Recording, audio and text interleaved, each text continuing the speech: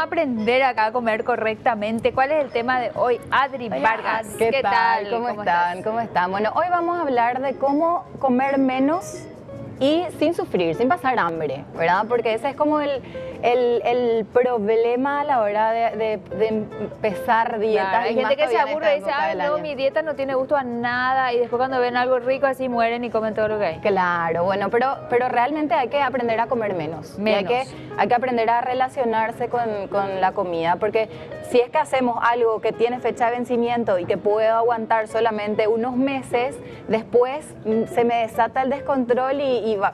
voy a terminar comiendo mucho más de la cuenta. O sea, achicamos porciones, entonces Eso es lo que cuesta, porque a veces venimos con un hambre y ves así tu platito y te desanima y te da más ansiedad y al final no, me importa nada y terminas con buscas algo para picar. Sí. ¿Cómo bueno, controlar? Ahí, ahí con respecto al tema de los platos y los utensilios, es súper importante que tengamos utensilios de tamaño regular, ¿sí? Porque muchas veces tenemos en nuestras casas esos platos cuadrados o redondos enormes que parecen ser una fuente, entonces todo lo que yo carga ahí adentro me va a parecer poco. Mm. El tamaño de mi plato tiene que ser no más de 25 centímetros de diámetro como para que visualmente yo también me empiece a saciar. la percepción hace absolutamente, absolutamente. Otra, otra de las técnicas súper importantes es traer ya la eh, comida servida de la cocina. Ah.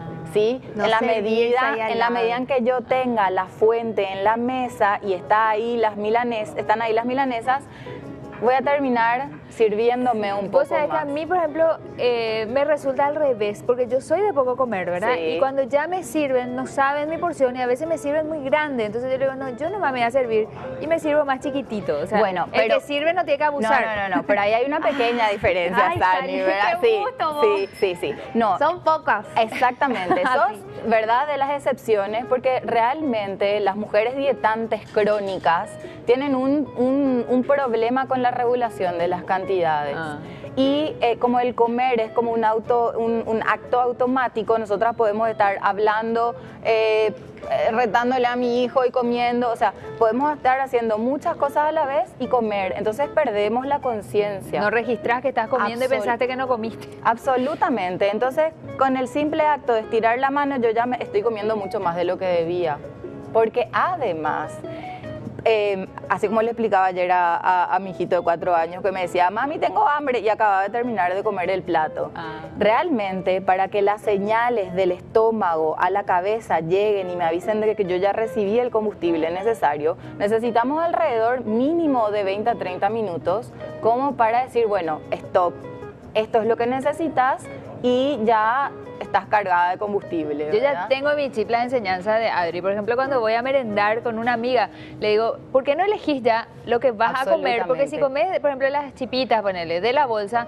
no sabes cuántas comiste. Y comés mientras que hablas. Entonces, eh, ¿por qué no elegimos ya y ponemos en un platito, verdad? ¿Cuántas galletitas vas a comer? ¿Cuántas? Y si querés más, pues te servís más, ¿verdad? Pero tenés que, tenés que tener, y vos me enseñaste eso. Bueno. Pero a veces uno ya es pesada si le está hinchando a la gente, ¿verdad? Pero ¿cómo? Pero yo por ayudar nomás a veces les doy consejo a mis hermanas, a mis amigas. Lo que pasa es que vos, Sani, justamente tenés eso. Yo, eh, yo soy súper ansiosa. ¿Qué pasa cuando no manejas tu ansiedad? Y yo completamente me voy a la comida. O sea, para mí es creo y, que a todos les pasa lo mismo. Vos te cuidas mucho. Sí, pero sufro. Ah. bueno, pero, pero ¿sabes cuál es? Hay dos cuestiones. Que la restricción, ¿sí? Cuando yo me prohíbo de lo que a mí me guste, de lo que me genere placer, porque el, el tema de la alimentación y la dieta no es solamente calorías y nutrientes. También tiene que estar incluido lo que me gusta, el placer, pero medido, ¿verdad? Y la restricción es predictor del descontrol y aumenta mi ansiedad hay un, periodo de tiempo, alrededor de 20 minutos, en el que la ansiedad está disparada. Realmente lo que hay que hacer en primer lugar es ver, a ver, ¿tengo hambre real de la panza? ¿Me hace ruido la panza o es hambre de la cabeza? Yo elijo qué es lo que quiero comer. Si es que es hambre de la cabeza, hay que tratar de dejar pasar esa, ese pico de, de, de, 20 minutos de duración. Eh, bueno, da una ducha, ¿qué hace? Mientras te distraes. Ah. Te distraes de la manera en la que puedas. tus plantas. Mira, cualquier técnica ayuda. Eh, bueno, muchos pacientes, por ejemplo, muchos pacientes me dicen, Adri, por favor, esto es tarea imposible para mí, pero realmente hay que ir haciendo un trabajo Tomar un previo. sí, podría ser, podría ser, pero ¿sabes qué hay que hacer? No meter nada a la boca si no es ah. hambre de verdad.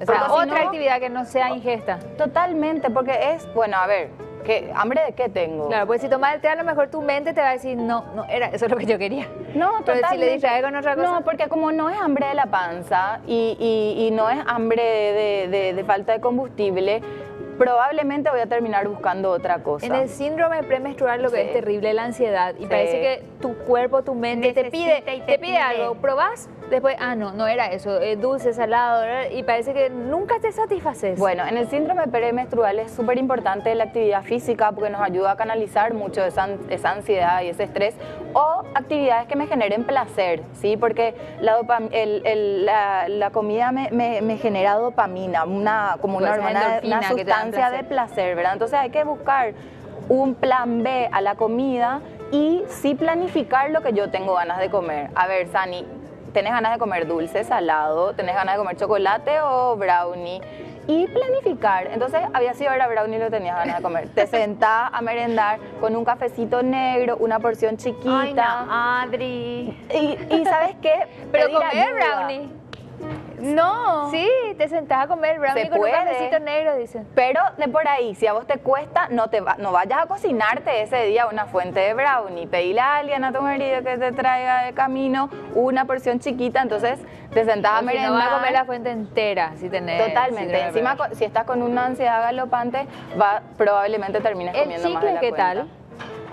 Esos chicles dietéticos, por ejemplo. que generan más hambre al final. ¿Te distrae o genera más hambre? Mira, depende mucho de cada uno. Hay personas que sí le puede llegar a servir, pero hay otras realmente que, como la ansiedad está acá, ah. Lo que hay que trabajar es la cabeza. Sí. Yo tengo uno, unos caramelitos dietéticos, ¿verdad? De diferentes sabores, son medio ácidos. Entonces, eso como que a veces constantemente entonces estoy sintiendo algo y te hace. Sí, eso funciona. Sí, funciona contigo. También eh, parece algo tonto, pero ponerse crema en las manos, el, aroma de, ah, la crema fuerte, ¿verdad? Entonces es, es sacar el foco de, ese momento de, decisión, esperar a que pase un poco el pico de los 20 minutos y ahí tomar la decisión con calma. Bueno, muy bien. Reducir los platos entonces y eh, evitar comer del paquete. La ansiedad, evitar comer del paquete, la ansiedad, distraerse con otra cosa. Una eh, queremos demasiado la galletita. Última, ¿verdad? Preguntita. ¿Cuántas podemos comer el paquete? Bueno, ahí lo que yo te recomendaría es que no comas, que no te compres un paquete de 10 galletitas porque vas a terminar comiendo un poco más comprate un paquete de galletitas que tenga cuatro y esa es tu porción. Ah, ¿sí? Y, dependiendo de, lo que diga la etiqueta nutricional y no más de 150 calorías más o menos. O te compras el clip ese, ¿verdad? Porque generalmente no vienen tanto con... Es, atentar contra la voluntad.